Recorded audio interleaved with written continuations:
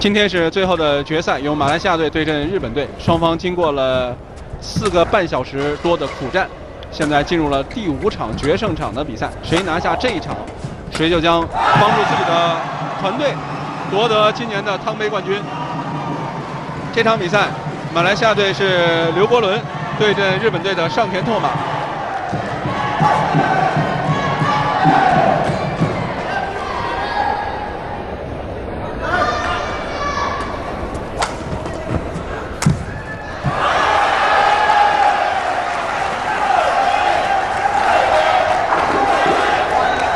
在这场比赛之前，日本队呃马来西亚队单打的教练拉希希特克，啊是亚特兰大奥运会的男单的铜牌，现在单打组的马来西亚队的主教练。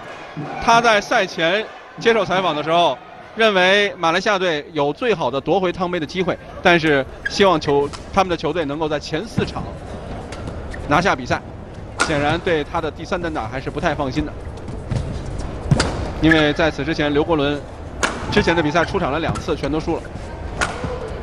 而上田拓马在他出场的比赛当中取得了全胜。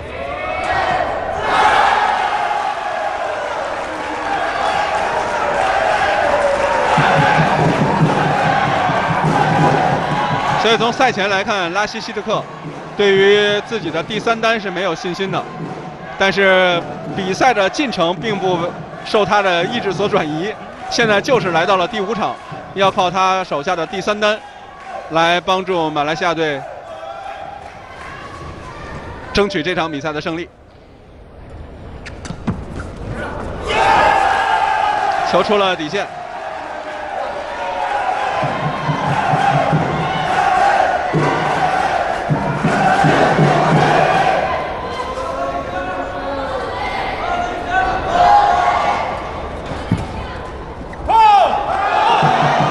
其实，一般一个成熟的队伍，如果他整个的新老交替进行的非常完善的话呢，一般在第三单的位置上放一个经验丰富的老队员，是比较让教练放心的。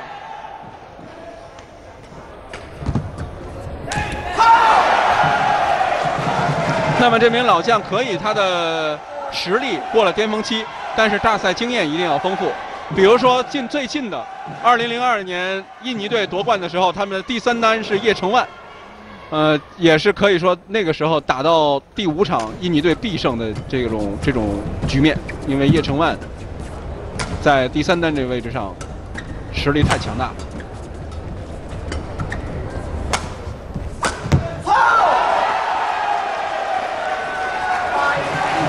再比如说2004年。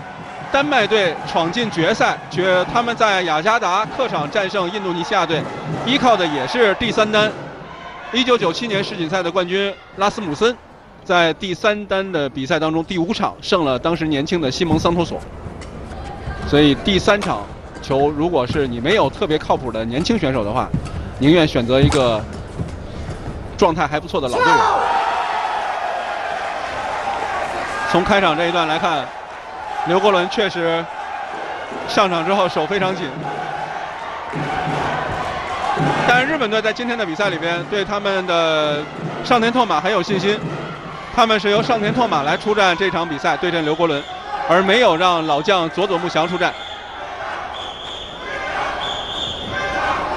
上田拓马在此前出场的比赛当中也是取得全胜。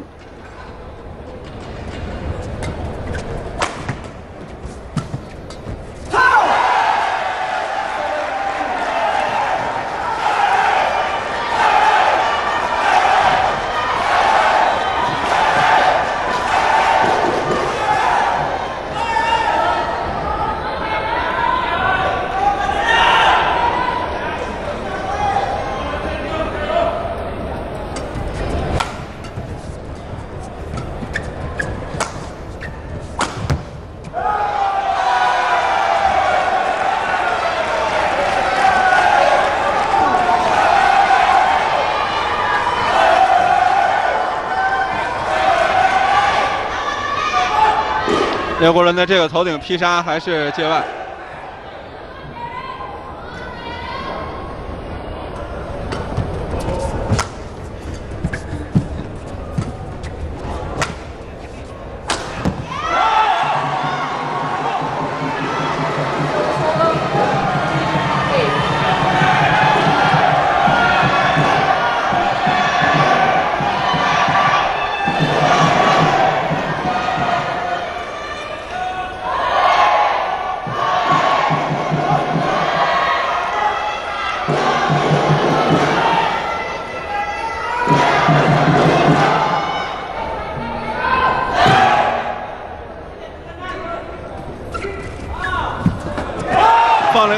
四比八。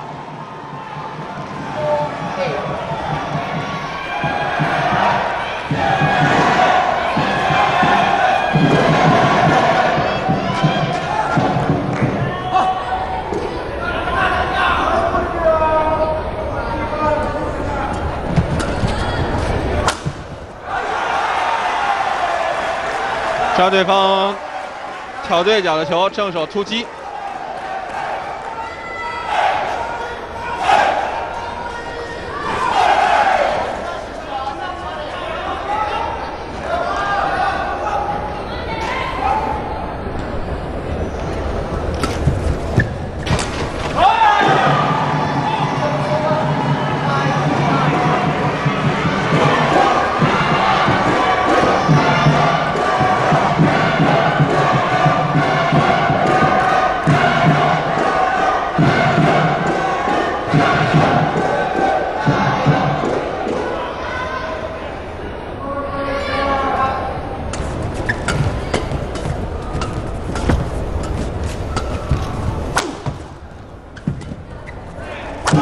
击机会，哦，他这个球上田拓马挡直线，一个滚网球。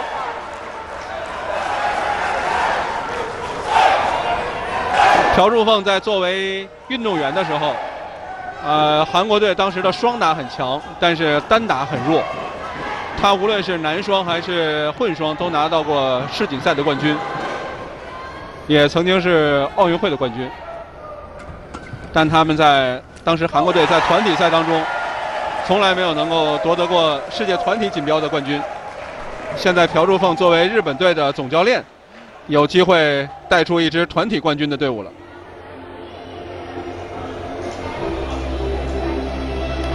其实，在羽毛球的历史当中呢，对于羽毛球爱好者来说，呃，过去这半个世纪，汤尤杯诞生了无数的伟大的运动员的名字。但是在1992年，羽毛球成为奥运会比赛项目之后，呃，再加上中国队在95年之后强势崛起，所以使得这个项目的竞争变得悬念。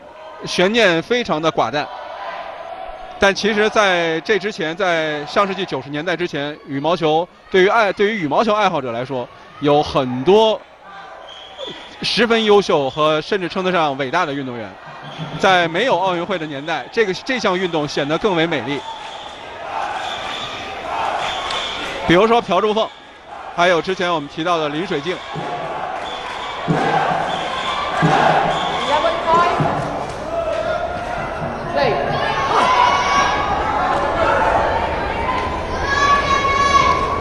上田拓马和刘国伦两个人回到场上。呃，上田拓马在此之前表现出来的状态是明显的要好于刘国伦。马来西亚队在这些年，自从哈菲兹，呃和黄宗汉逐渐的淡出国家队之后，男单就是靠李宗伟一个人。打天下，这个恶果在今天这场比赛当中可能要再次让他们吞下。在这么好的机会面前，由于单打只有李李宗伟一个人。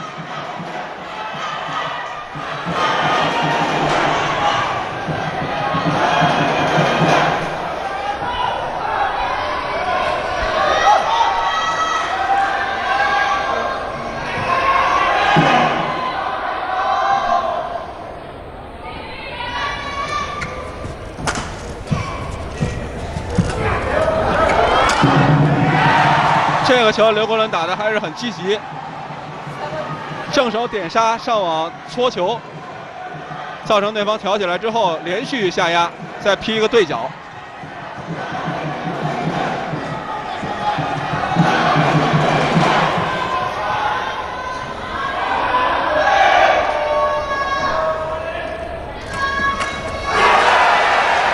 发完球没有准备。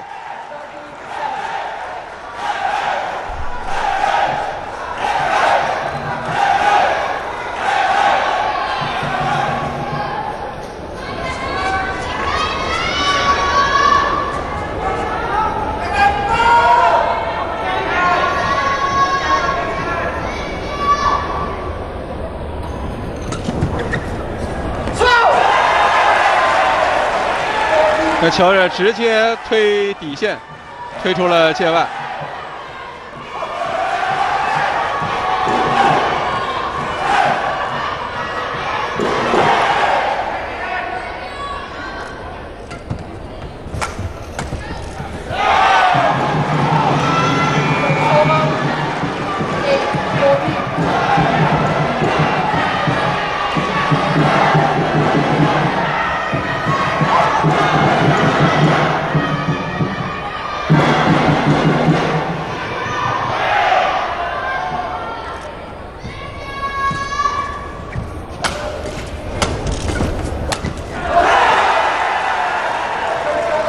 上田拓马的应变也很快，在前一个球他软压被对方反抽，这一下他就注意了接下来的连贯。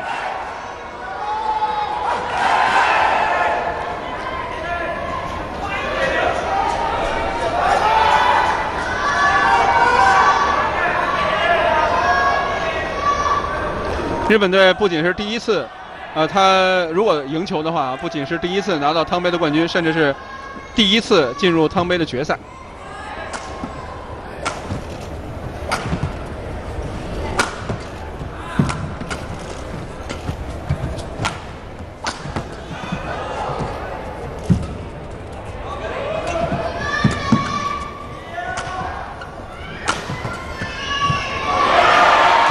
球，接杀挡对角。现在刘国伦的教练就是叶成万。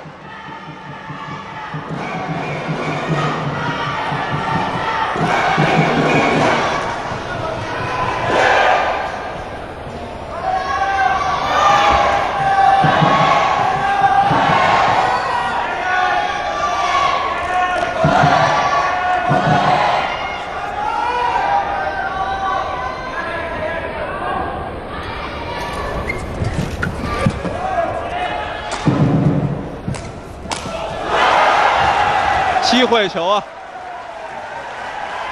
不够冷静。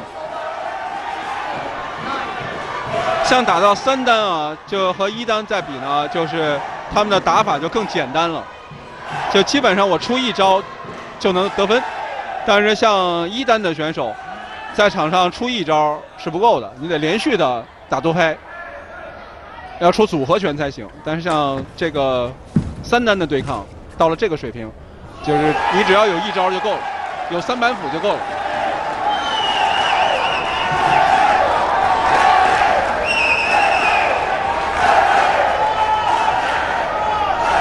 日本女队在这次比赛里边，她们也获得了尤伯杯的亚军。看来新德里是日本队的福地。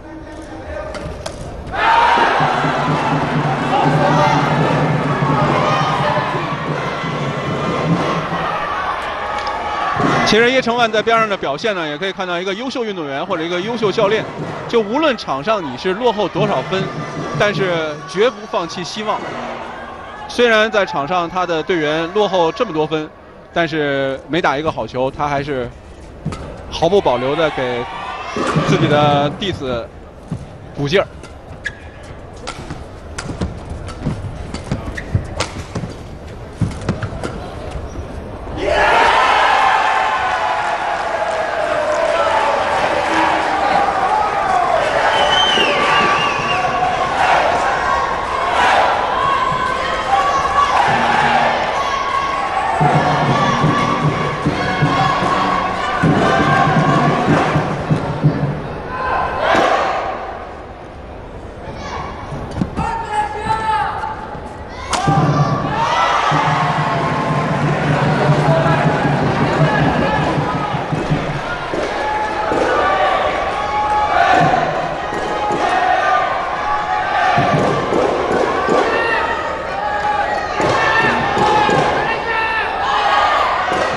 刘国伦提出来换一个球，也是改变一下场上的节奏。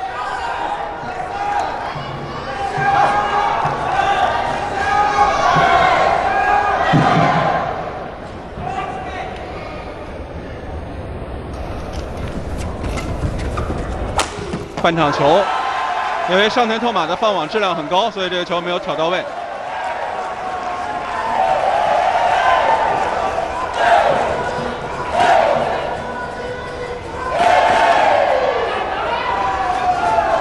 两边的教练阵容也很强大。日本队这边是朴柱凤，当年韩国的双打天才。印尼呃，马来西亚那边是叶成万，还有拉希希特克。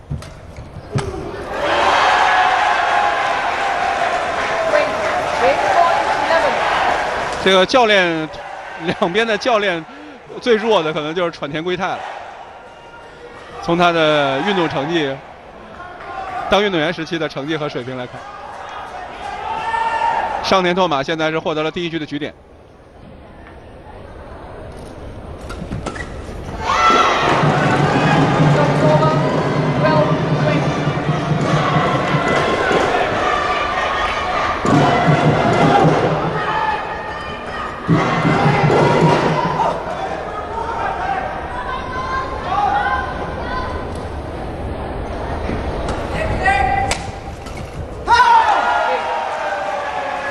刘国伦挡对角，球没有过，这样第一局比赛二十一比十二，日本队的上田拓马一比零领先。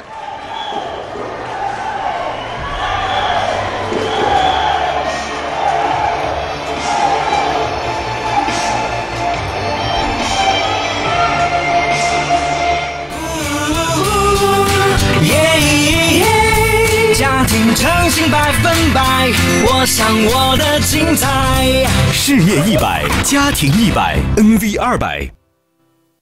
郑州日产，讨好每一寸肌肤的喜欢。法恩莎卫浴，沐浴生活之美。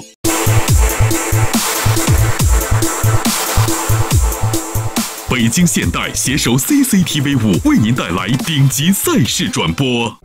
在所有人追逐目标时，停下来享受。你的态度决定你的未来。Mistral 名图、明智、途远，北京现代。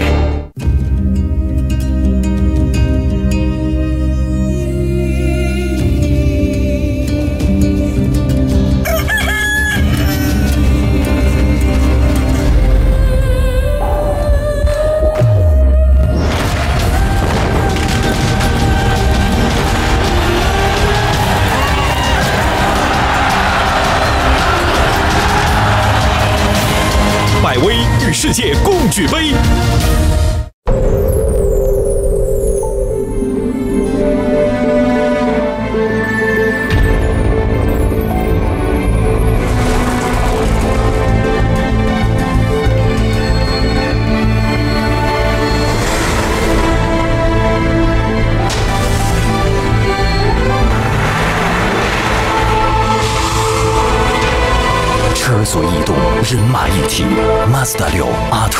一汽马自达。观众朋友，欢迎大家继续收看我们为您转播的2014年汤姆斯杯世界男子羽毛球团体锦标赛的决赛。本场比赛是由马来西亚队迎战日本队，双方打到了决胜场的对抗。马来西亚队现在面临不利的局面，在前四场双方打成2比2的情况下，他们的。第三单刘国伦在本次汤杯比赛当中一场还没有赢过，而且第一局又是十二比二十一输了，形势对日本队相对有利。刘国伦的这一次挑战非常果断而且准确，这是正手的点杀，丝线改判为先是比了一个界内手势，然后改判为界外，刘国伦马上提出挑战，鹰眼回放显示是界内。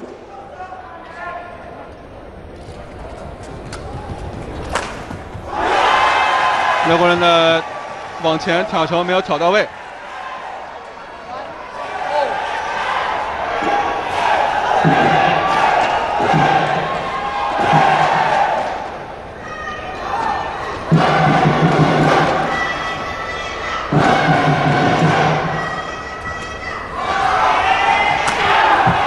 劈杀上网再扑，这个球是是这种时候的球，因为是三单。三单不像一单的选手水平那么高，其实，所以对于三单的运动员来说，打这种比赛，其实就是看怎么能够拼出来。你如果想太多，怎么去控制对手？就在这个水平线上的运动员，可能世界排名都到二十以后了。打得太保守，尤其是在团体赛当中，对他们是没有用的。刘国伦在第二局一上来，让人看到了一定的反击的机会。对单打这个时候就是拼，那么怎么拼呢？就是通过你的速度和进攻。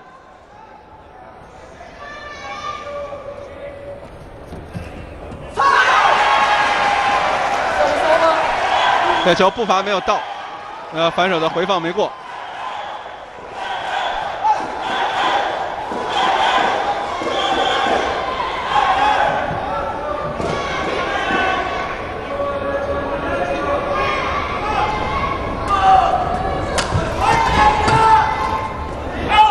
力量稍微大了一点，这个球平推出了底线。马来西亚的其他队员都回头看现场的大屏幕回放。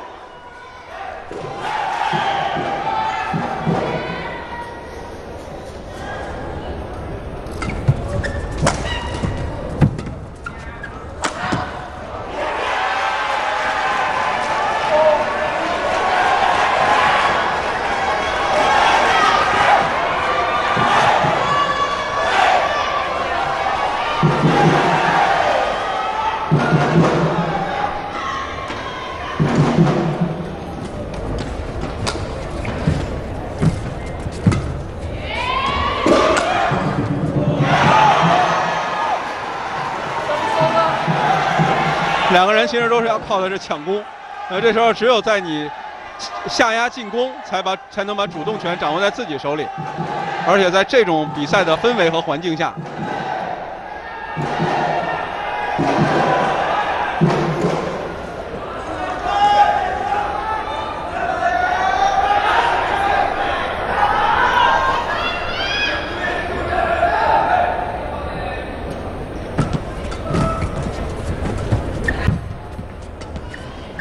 出界了。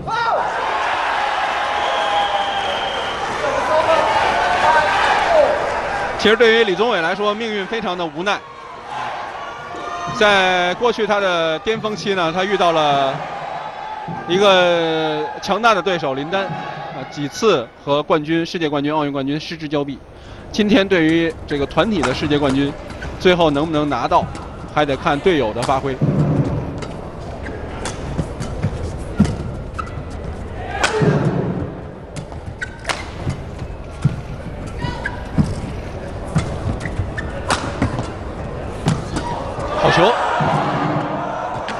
有点犹豫变线，轻杀，很关键的一个多拍劈杀，再过渡起来，上田拓马也攻出界外了。这时候就这种比赛，其实谁的节奏都不很容，都很不好找。两个人谁都是想先把进攻抓在自己的手里。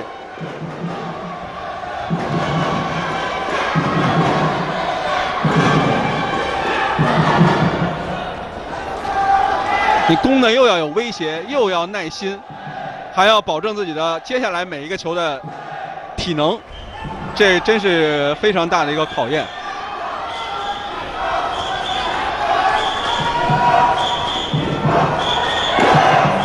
其实朴柱凤这次在日本队的成功呢，也让我有一个新的发现，就是你像中国队的总教练是吕永波，印尼队的总教练是季明发，日本队的总教练是朴柱凤。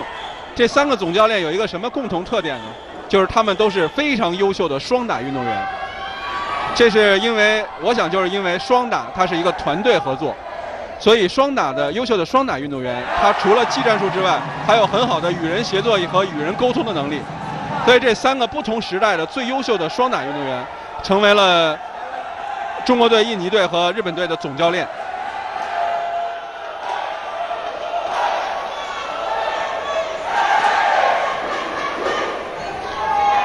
所以羽毛球的双打跟单打是完全不一样的。单打是个人项目，而双打它就是个团队项目。尽管只有两个人，一般中国人说三人承重，三个人才算一个团队，但是其实两个人也存在着团队合作的基本的元素。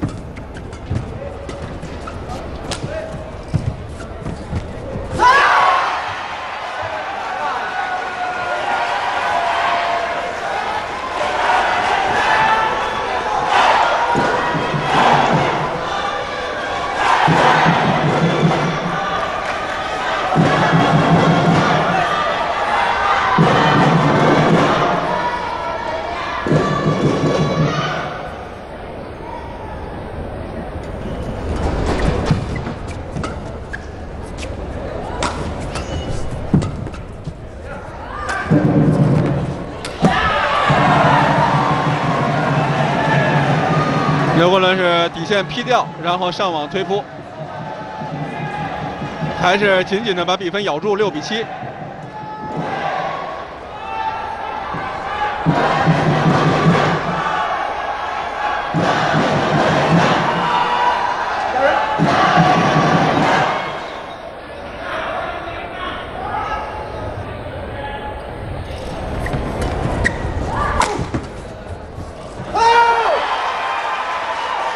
刘国伦的手上技术确实是不是特别理想。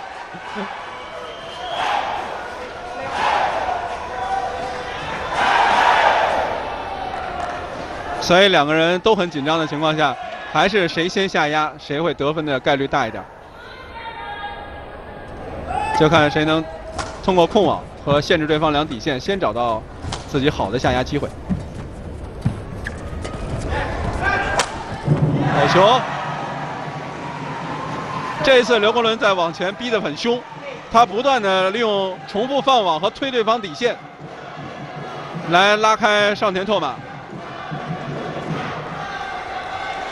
终于，终于是造成上田拓马在往前是低点挑高球，抢到了下压进攻的机会。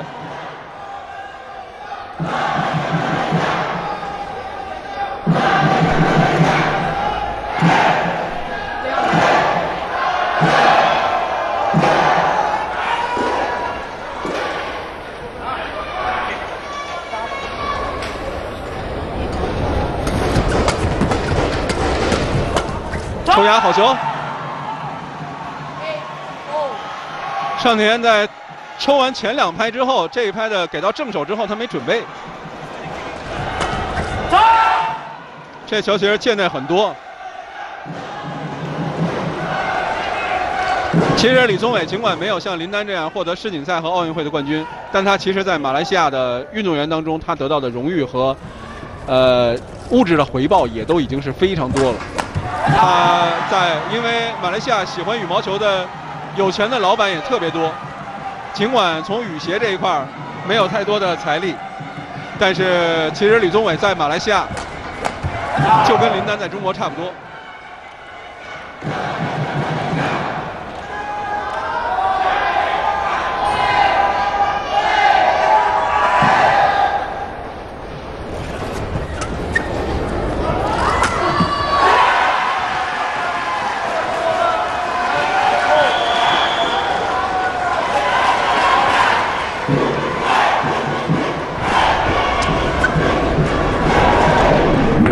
这个球上田在放完网之后，他知道自己放的质量很高，所以放完了之后已经是准备抓后场进攻突击。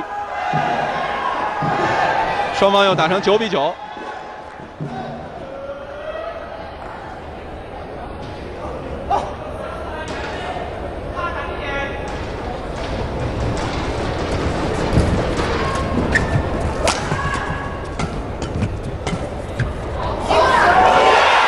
线内。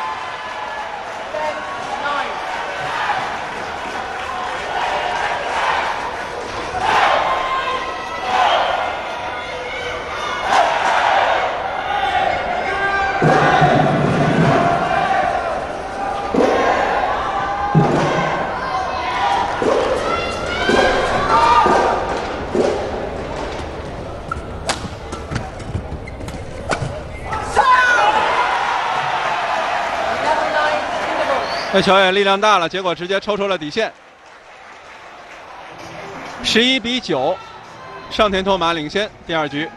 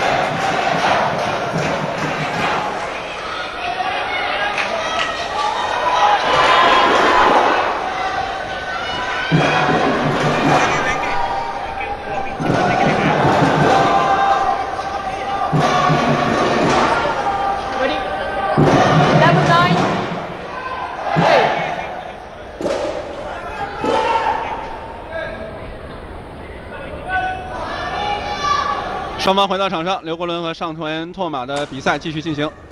现在上田拓马领先两分，抢网前一个扑球。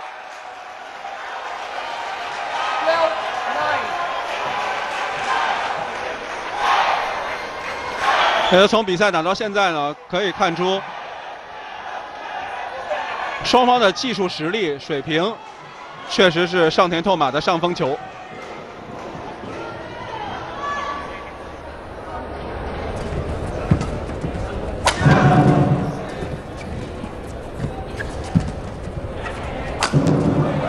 球上田拓马挑的就几乎要出界了，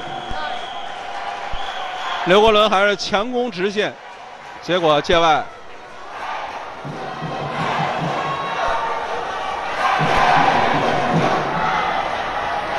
但这场球作为刘国伦来讲，他还是拼尽了全力。其实从打两局打的情况来看，他确实不是上田拓马的对手。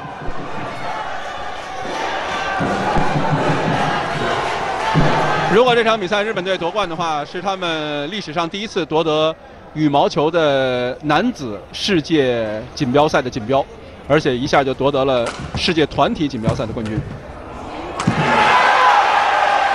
这场比赛的最后这个结果呢，不能不说又是一位韩国教练在外国的成功，就像金场博在中国一样，这一次是朴柱凤在日本。当然，在世界上体育运动当中，有很多的外籍教练都在异国他乡取得了相当优异的成绩。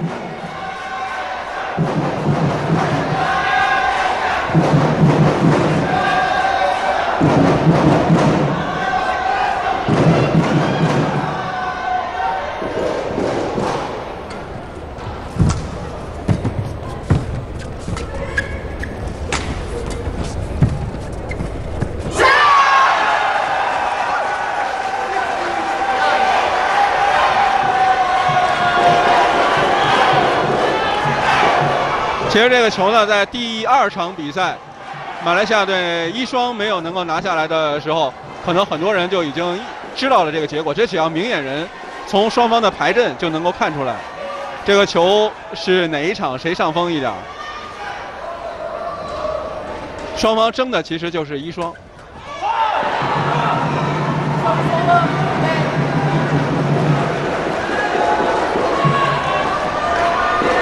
叶成万还没有放弃希望，那么场上的队员会不会给他呢？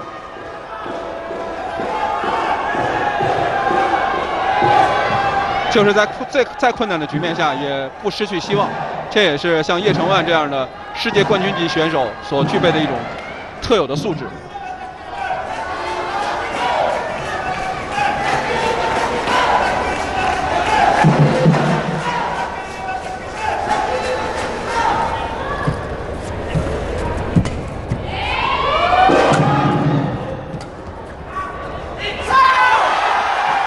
这球推底线，球又是出界了，十六比十。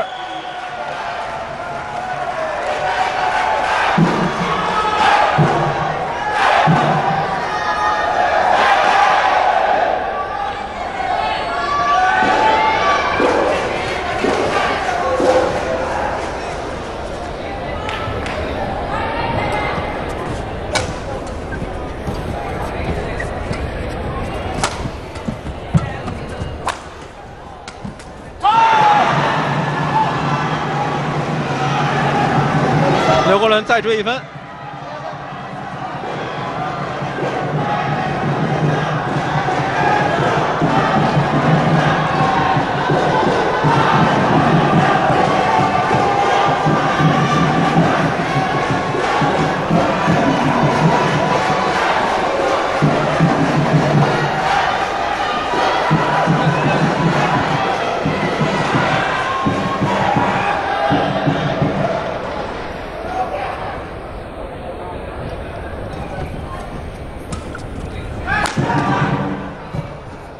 回放中路，球出界了，十二比十六。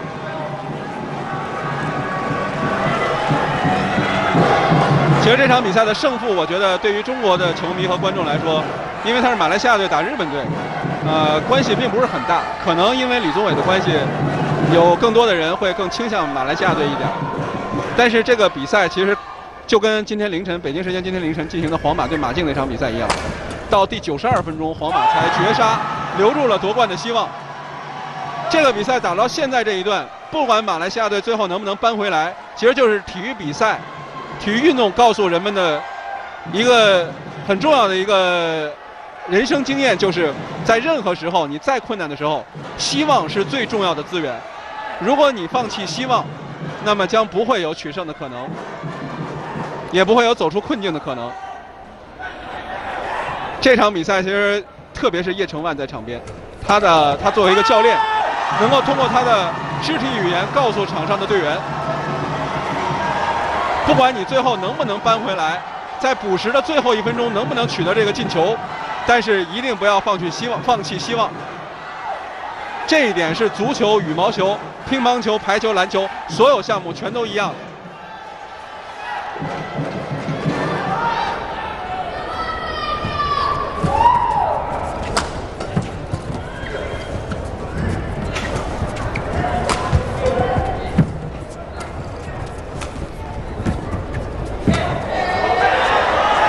机会，再扑，但这个球扑到了上田拓马的手上。上田的运气也是不错，非常关键的一分。这个比分打成十五比十六和十四比十七，是完全两码事儿。这就是门里和门外的区别啊。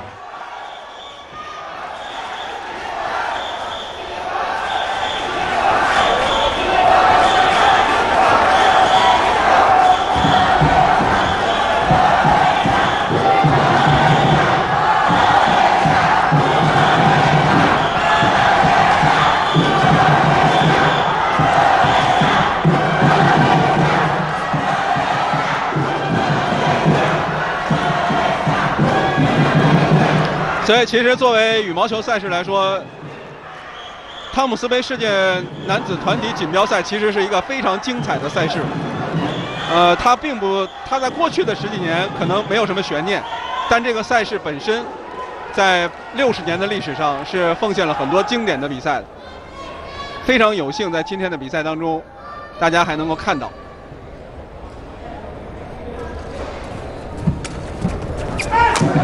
好球！刘国伦还是强网，对方挑起来之后，起板突击，点杀的直线打在界内。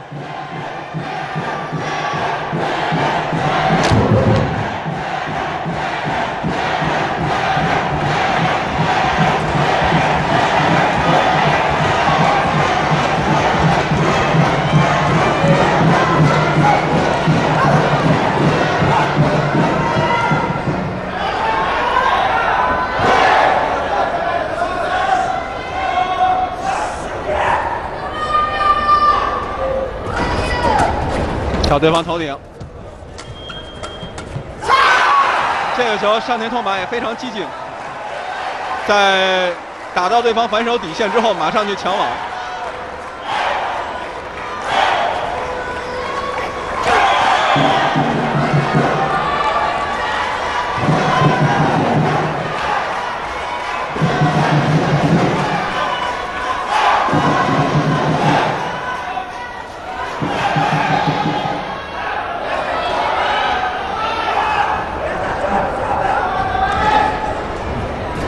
看一个外脚，好球！哎呀，这个球上田拓马要挑战。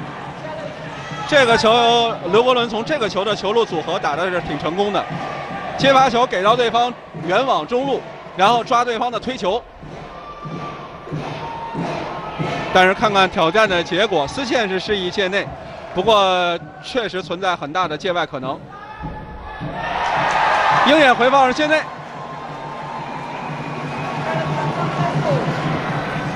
刘国伦再追一分，十六比十八。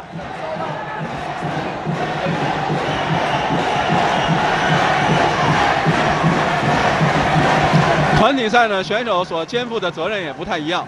他不仅仅关系到自己一个人的胜负，自己一个人的荣辱，也包括到包括全队的胜负和荣誉。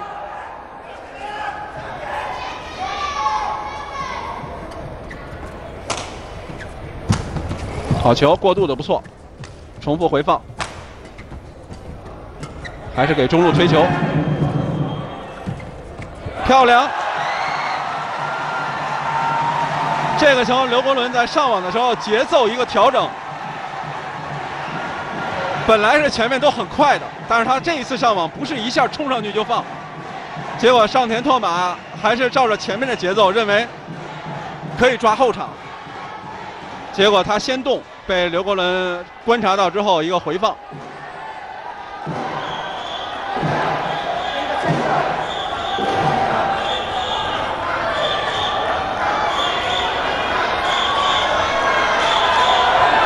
双方打成了十八比十七，第二局的比赛。上田拓马之前领先的五呃五分优势，十五比十领先的五分优势，被刘国伦一点一点的蚕食。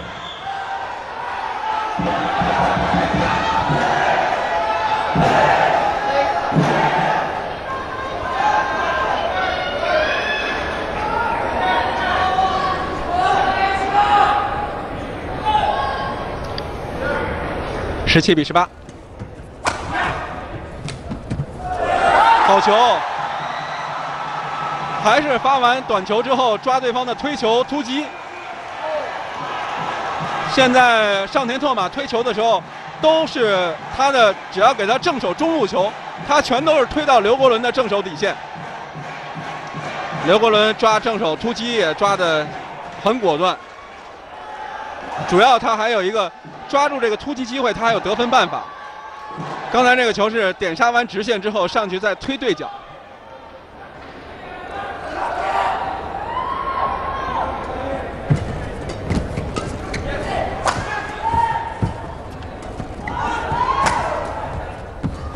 勾对角，半场的机会，踢掉好球。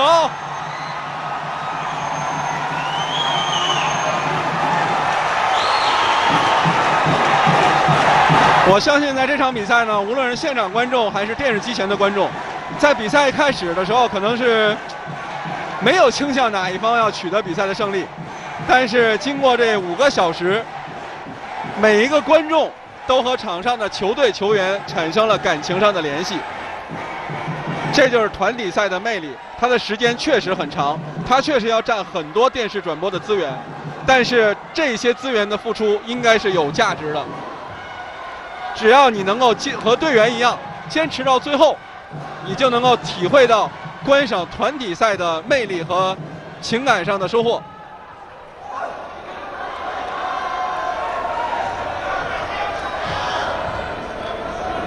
现在是十九比十八，刘国伦在十比十五落后的情况下，现在反超一分。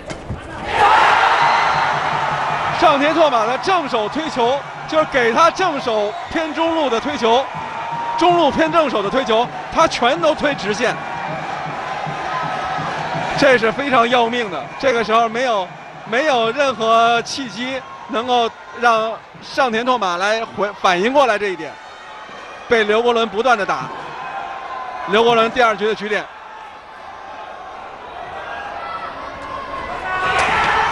踢对角，再放到中路，头顶吊直线。上田拓马杀球出界，补时的绝杀出现了，这就是不要放弃希望，上天会给你机会。刘国伦在以弱对强的情况下，将比分扳成了一比一。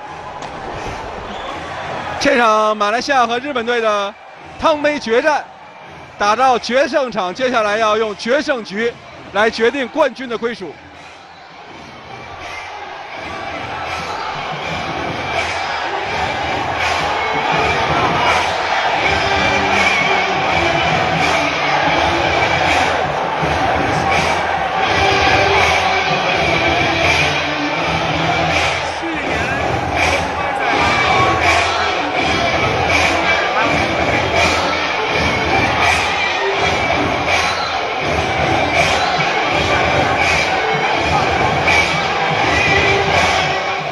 是轮胎星球，首领普利司通。哦，它滚动顺畅，更能改善油耗，省油环保，轮胎的未来一片光明。地球的轮胎，普利司通。你是普利司通轮胎。你以为他在做决策，或许他只是聊天。你以为这是高层峰会，或许只是同学聚会。你一再猜错，但这不是你的错。帕萨特，镜自超然。你以为他在看日出，其实他在筹建深水码头。Das Auto。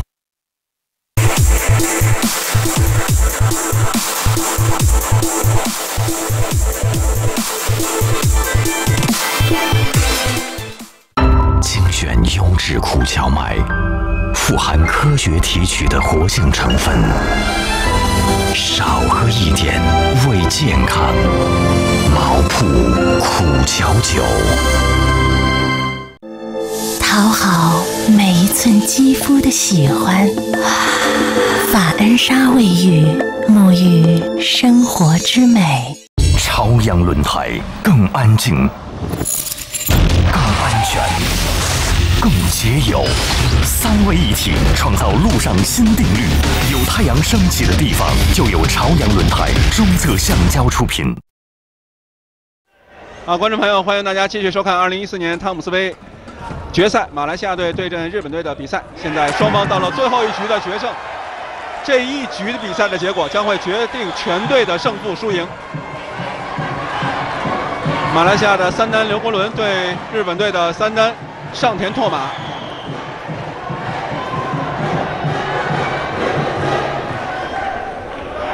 我们知道李宗伟在十几年的职业生涯当中，还从来没有世锦赛的冠军入账，他有的只是银牌，但是他已经赢得了全球范围内羽毛球爱好者的尊重，只是看在赛场上。会不会能回报他一块含金量更高的金牌？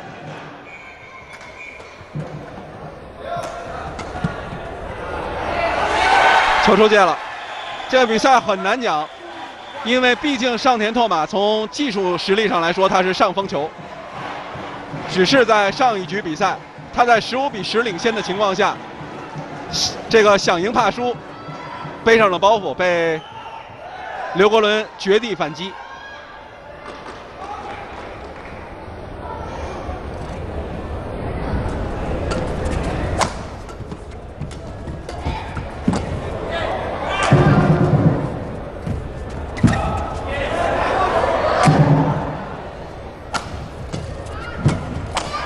球！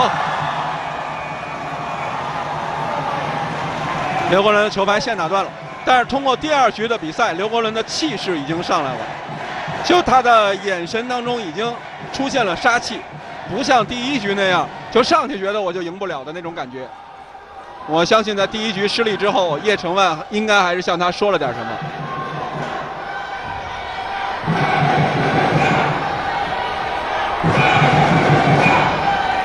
其实，在比赛当中，教练有的时候还是很重重要的。尽管决定比赛结果的、完成比赛还是要靠运动员，但教练一个高水平的教练还是很重要的。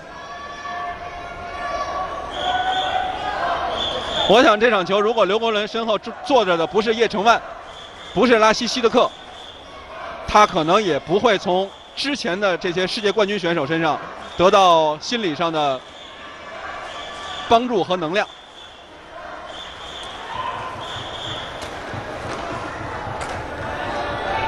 因为他身后的这两个教练有过在运动场上成功的经验，他能够告诉自己的队员，在这个时候你需要做什么，而运动员也能够相信，因为来跟他讲这个要求的人是一位世界冠军，曾经是世界上最优秀的选手。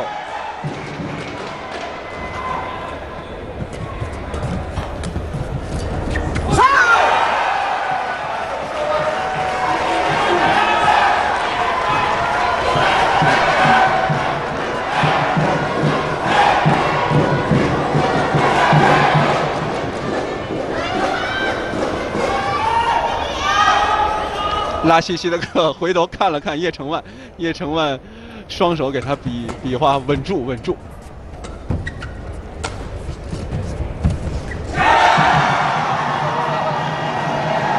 这个球挡网，球下网了，放网。叶成万从椅子上站起来，给刘国伦鼓掌加油。其实教练在场下的一举一动，队员在场上都能够感知到。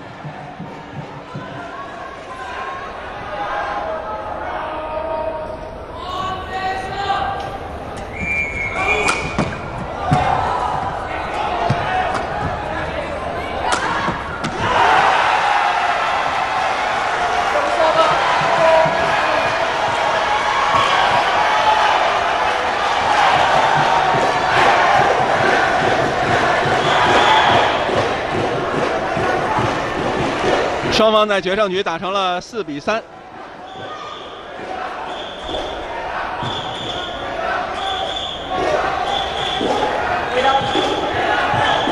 少年拓马是一九八九年出生的选手，比刘国伦的年龄要小一些。但是这场球，由于之前的团体赛两个人都不是上上场打满了所有的比赛，而且他们不是打一单的选手。所以这场球体能对于两个人来说都不是什么问题。上田拓马不仅是一位优秀的羽毛球运动员，他也是来自日本名校早稻田大学的早稻早稻田大学的高材生。当然，现在他已经毕业了。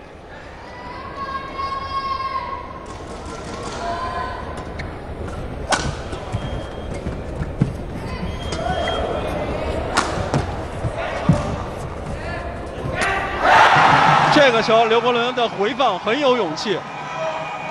对方搓给他，对方在常规之下都是盯着你的回放，然后抓后场。但是刘国伦这个球还敢再回搓一个往前球，而且搓了一个高质量的滚网。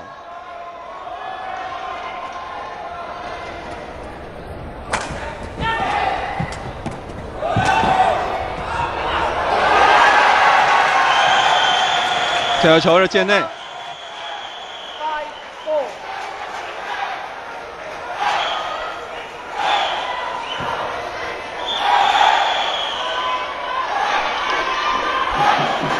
在昨天呢，呃，李永波总教练还跟队员们，呃，在游杯在游杯结束之后进行了一下聚会，然后对运动员提出了第二天的要求，就是今天的要求，要求全队都要来看马来西亚队和日本队的比赛。李永波总教练说：“我们要去看比赛，我们要去向这两支队伍学习。”当时我的感觉是，呃，这可能也就是一个要求吧。那么来学习什么呢？因为中国队的整体实力并不并不比这两个队差。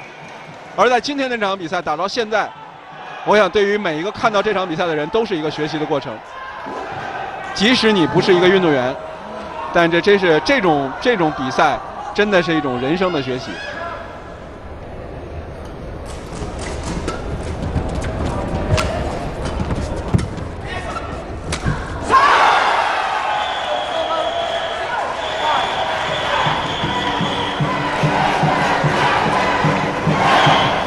李宗伟真是恨不得自己上去打呀，但是那太欺负人了，他是一单的选手，不能出现在一三单的这个位置上。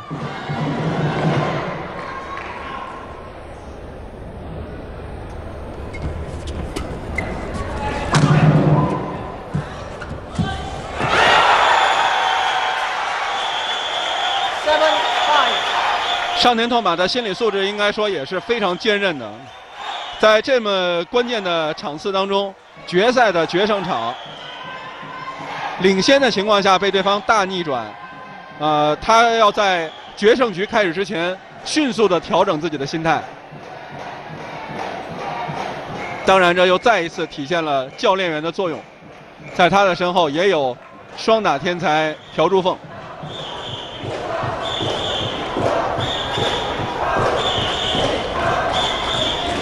这场比赛的主裁是来自新加坡的裁判。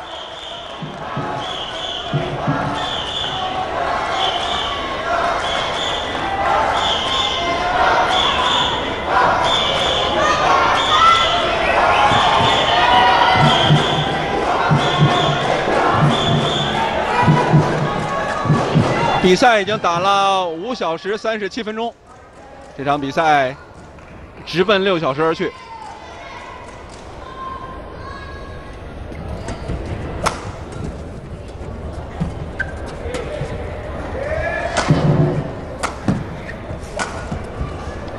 双方重复压对方的底线。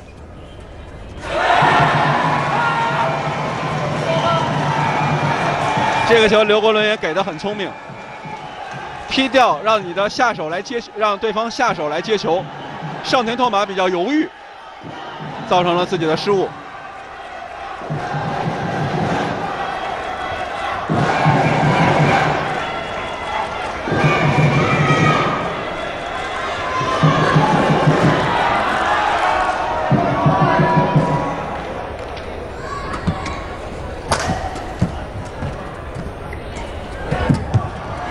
突击，跟下一拍有点慢。上田拓马的反击没有能够打死，勾对角好球，哎呦这球没过，这球擦了一下网带，没有过来。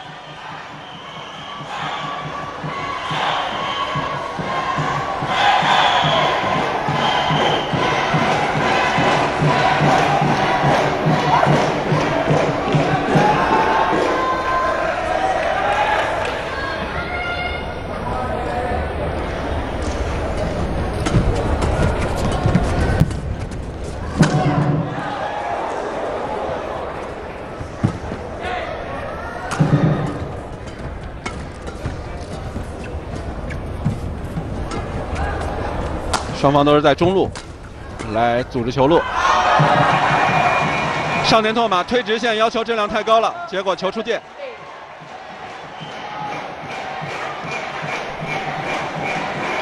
今天的比赛是李宗伟先为马来西亚队拿下第一分，二比零战胜了田二贤一。但是在接下来的一双比赛当中，陈文宏和他的新搭档云天豪一比零领先，被对方逆转，结果早川贤一、远藤大由二比一取得胜利。然后日本的天才少年桃田贤斗二比零战胜了马来西亚的张维峰，使得日本队二比一领先。球出界了。第四场比赛，马来西亚的二双吴伟森、陈伟强战胜了加村健士和原田启悟，为马来西亚队扳成了二比二总比分。现在是双方决胜场，两个人前面打成了一比一。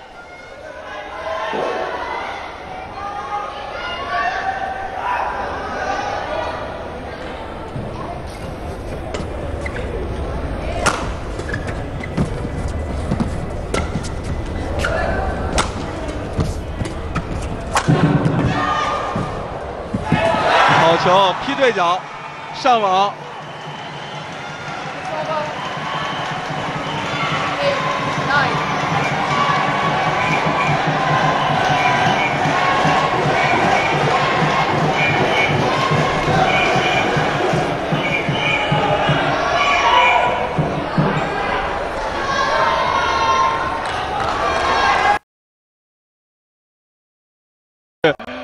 呃，这是赛前本次赛事的冠名赞助商李宁事先印制的汤杯冠军服，这应该是。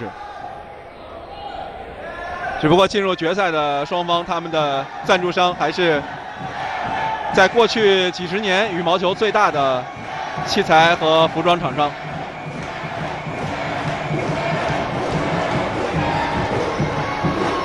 汤姆斯杯，在看着场上的两支队伍，究竟是谁呢？哪支队伍的名字将会刻在汤姆斯杯最新的冠军的位置上？这座奖杯也已经历经了六十年的风雨了。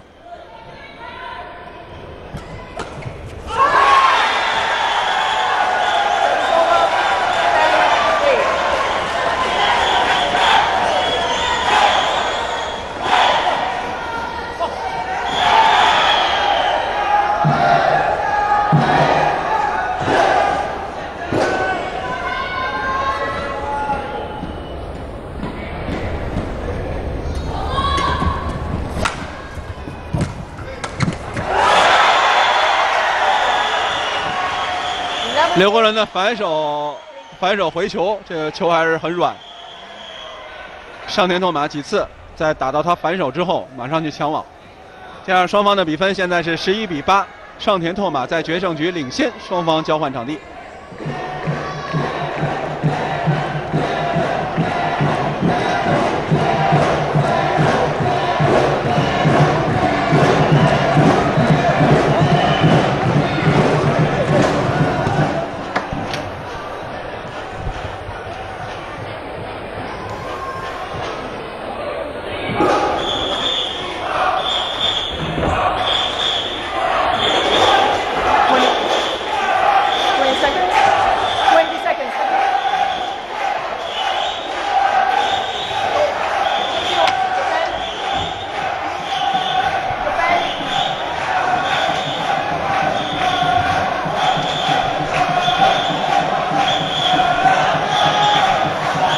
大家现在看到的是在印度的新德里斯里要塞综合体育中心进行的2014年汤姆斯杯世界男子羽毛球团体锦标赛的冠军争夺战。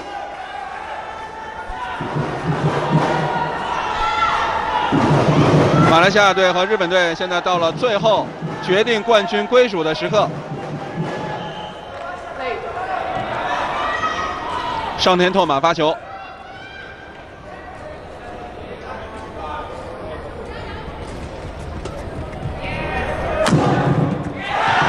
现在就跟双打到最后是一样的，就你不能让对手攻，因为这种心理压力之下，谁的防守手上都是很软，都是很虚的，只有拿着进攻权的人才掌握着命运。所以两人的从第二局很明显，两个人的战术就是在通过控网结合推底线来抓抢攻的机会。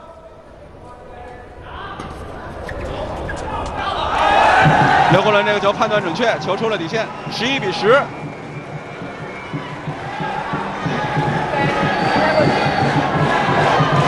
这场比赛有一个惊心动魄的过程，上田拓马和刘国伦两个人也不会让等了六个小时的观众，在最后的结尾上感觉失望。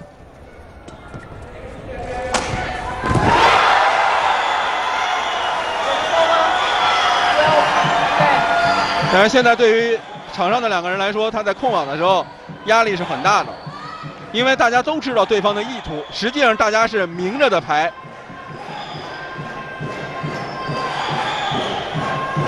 所以你是什么时候放？你如果放网的话，质量一定要好。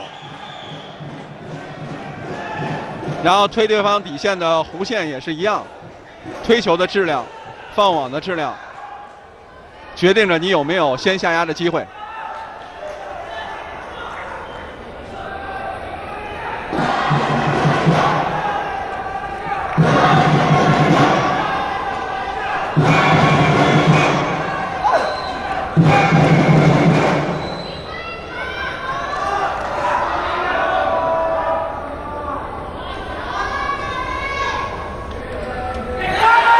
渗透马发球失误。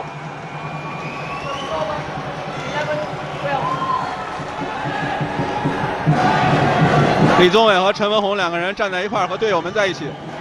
马来西亚队场下大概三十人的一个团队。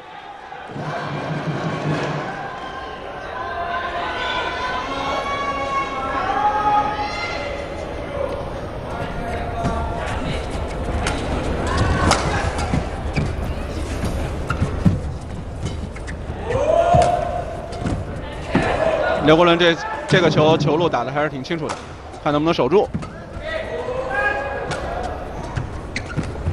左对角，劈杀好球。这个球能看出来刘国伦在场上的思路非常清楚，因为上田拓马呢现在也是全力的要控网前，所以上田拓马在放完网之后，他的站位非常靠前。刘国伦推他底线的球，不用推太平，都会造成上田拓马很被动。所以刘国伦是比较好的结合了放网和推对方底线。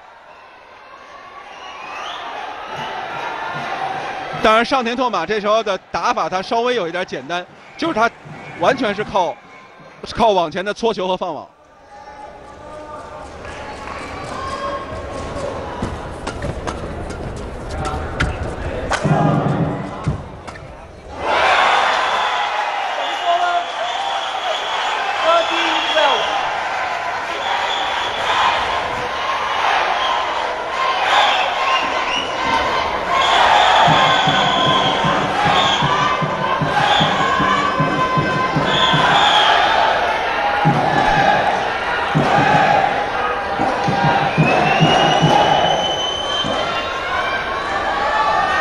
双方打成十三比十二，上田拓马领先一分，结局依然难以预料。哇！刘国伦的反手底线还是偏软啊，但这也很正常，因为这毕竟是第三单的对抗，不像一单的实力那么强。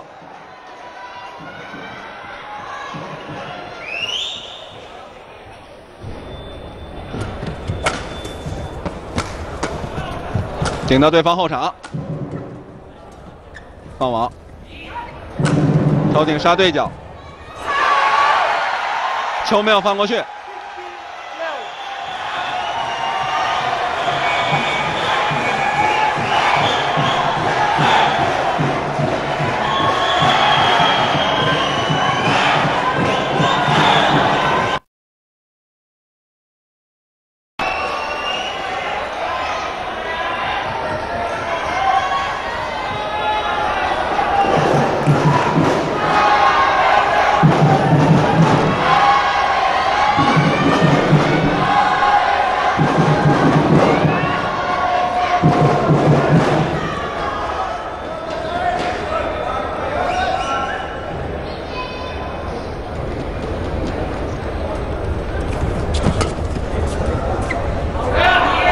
界很多。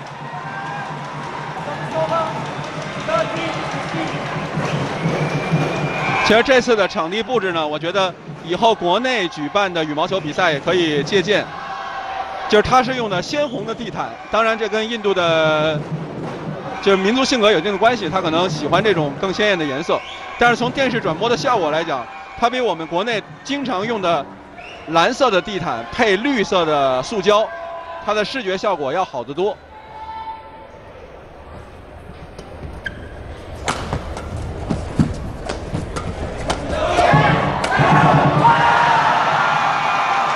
因为蓝色地毯和绿色塑胶一样，它都属于冷色，所以在电视转播的羽毛球比赛这个视觉效果上呢，一直给人感觉场面偏平的、偏沉闷，就是羽毛球的画面效果偏沉闷。如果我们国内的赛事也是用一些暖色来做绿色这种冷色的塑胶外面这一圈的地毯的陪衬的话，应该效果会好得多。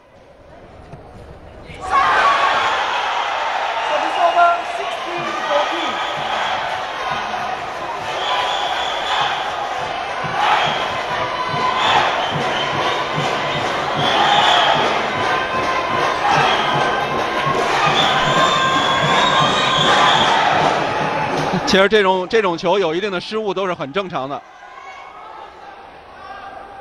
就是别受失误的影响，不要影响下面的发挥。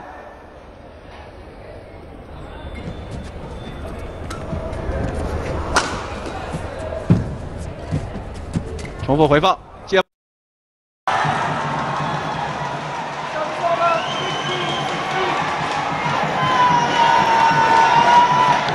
其实，在比赛当中，双方的技战术上也其实也并不是乏善可陈的。虽然他是三单的对抗，就这场球，刘国伦比较好的利用中路来组织战术，这样他呢，他也知道自己的水平不是那么高，他在场上多用中路球，他的失误率很很低。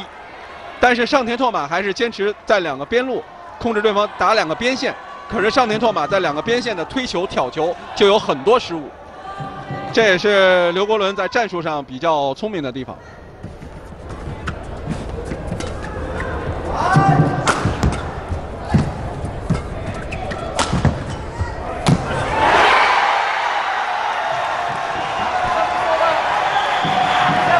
少年拓马的表现也是可圈可点，就是前面说的，在被对方逆转扳平的情况下，在第三局依然能够坚持住。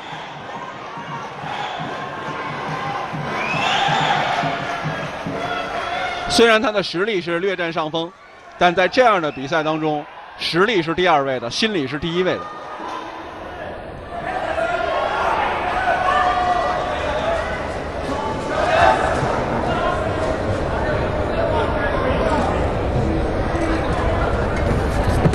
刘国伦还是接发球的时候回到对方的中路，突击机会，半场球再来。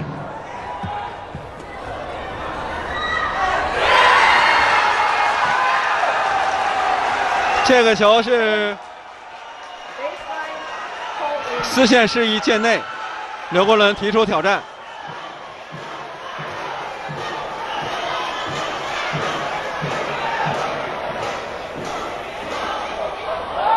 慢动作来看，出界的可能还是有的，还是很大的。看看鹰眼是怎么判断吧。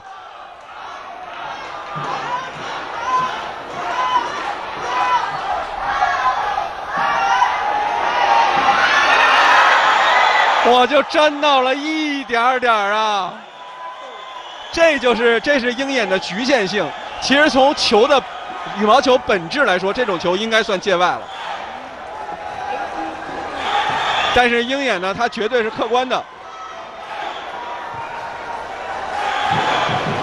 这是很关键的一分。运动员在场上判断这种球出界是绝对不会有问题的。但是计算机就是它的精确度比人人的精确度就是差了那么一点儿。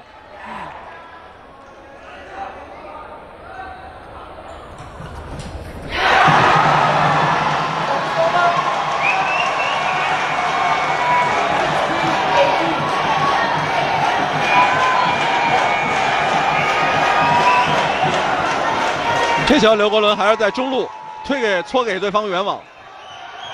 这个球放远网之后，也是造成上田拓马回放的难度。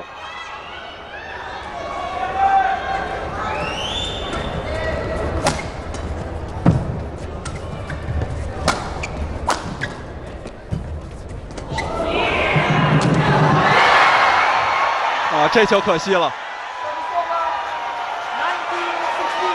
劈杀下网，上田拓马距离胜利还剩两分。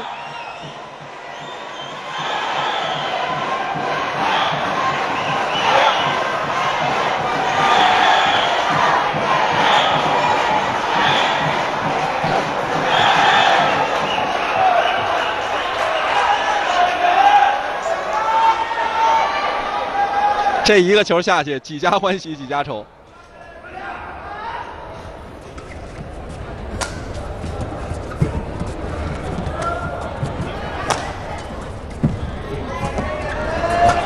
机会，球没有过来。其实上田拓马在第二局输了之后，第三局他的正手推球有了很大的改变。就是他，他前面输主要他正手，他全是推球，被刘国伦抓了很多推球突击。这一局呢，他的正手是挑给你，挑高球给刘国伦，刘国伦就是直上直下的球，只能凭自己的实力去下压，还是有很多变化的。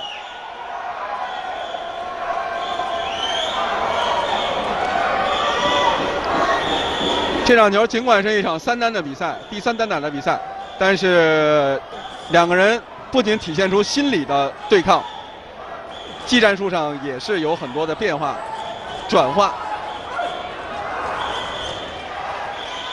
内容确实很丰富，不仅悬念重重，而且故事也写的有血有肉。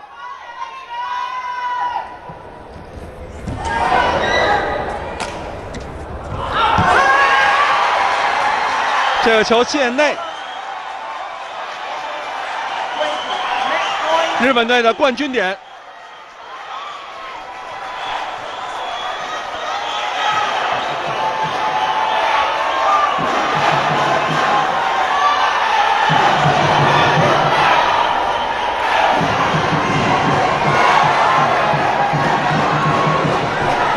在汤姆斯杯的历史上，只有三支队伍获得过冠军。印度尼西亚、中国队和马来西亚队。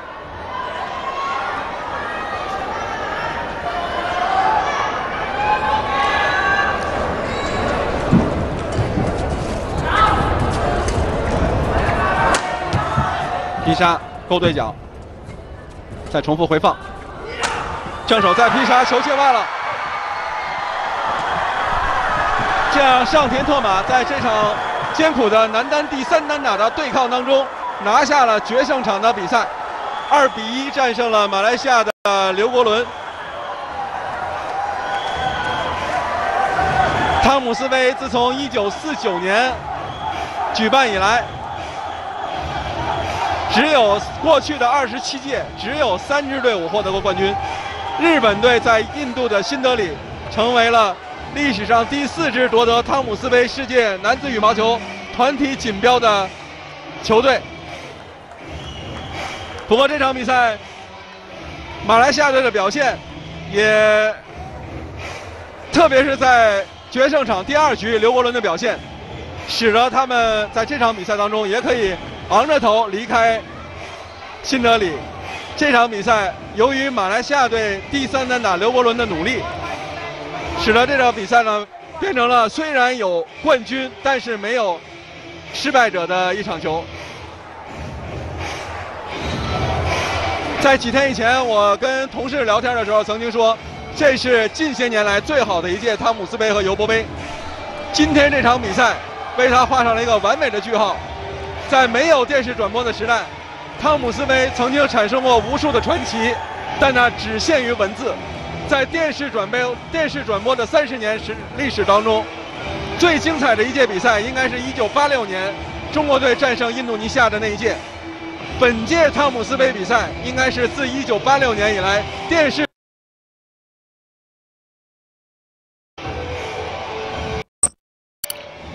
球，我相信告诉很多人，真的在场上不要放弃希望。只要你不放弃希望，未必胜利会属于你，但你不会再是一个失败者。